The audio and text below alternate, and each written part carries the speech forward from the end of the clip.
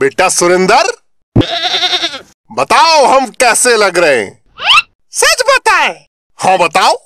एकदम गोबर में पुदीना जैसे लग रहे हैं। बेटा तमीज से बात कर लो। प्रमोशन होने वाला है हमारा। पाँच साल में एक मक्खी ना पकड़ी तुमने। कहे का प्रमोशन? हमारी वफादारी की वजह से मिल रहा है।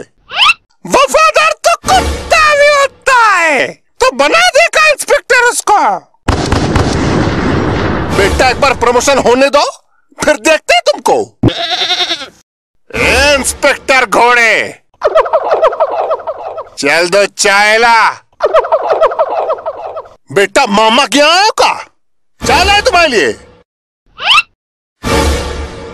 चल चल, अब चाय ला अभी लाए साहब। मालिक ने बिस्कुट क्या दिखाया? लग गया भौंकने। क्या बोला? लो तुम पुलिस स्टेशन में आके आपसे चाय मंगवा रहा है। अच्छा?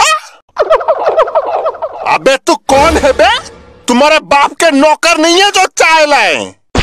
बेटा, तुम हमारे बाप के नहीं, हमारे मंत्री चाचा जी के नौकर हो। हाँ तो दो चाय लगा दे, सुरेंदर। लियो, बन गए सरकारी कुत्ता। और इंस्पेक्टर? सुना है तेरा प्रमोशन होने वाला है? अरे इनको तो सस्पेंड कर देना चाहिए।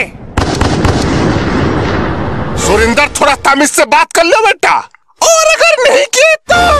नहीं तो दोनों कान के बाजू से लगा देंगे तुमको। ए, ए, ए। अब ये तुम दोनों की तू तू मैं मैं खत्म हो गई तो कुछ बोले हम? अब तक तो साहब भोग रहे थे अब तुझे भी मौका देते चल भोग ले तू भी ये घोड़े इसे बोल दे तमीज से बात कर ले। नहीं तो क्या कर लेगा बे?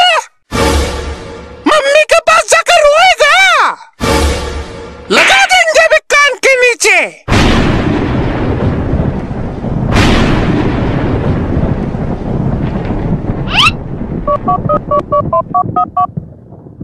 हेलो, मंत्री जी।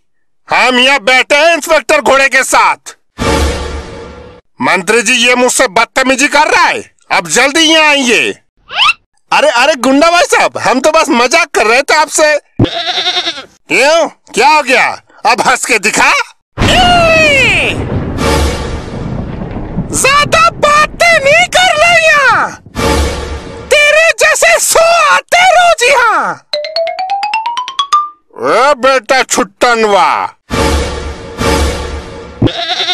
बता तो जरा, कौन सा इंस्पेक्टर तंग कर रहा था तुझे? मंत्री होके गुंडागिरी करना शोभा नहीं देता है आपको, सर। हमसे जरा तमीज से बात करना बेटा। भूलो मत, तू हमारे पीछे डूम हिलाने वाला कुत्ता है। क्या बोला कुत्ता? सस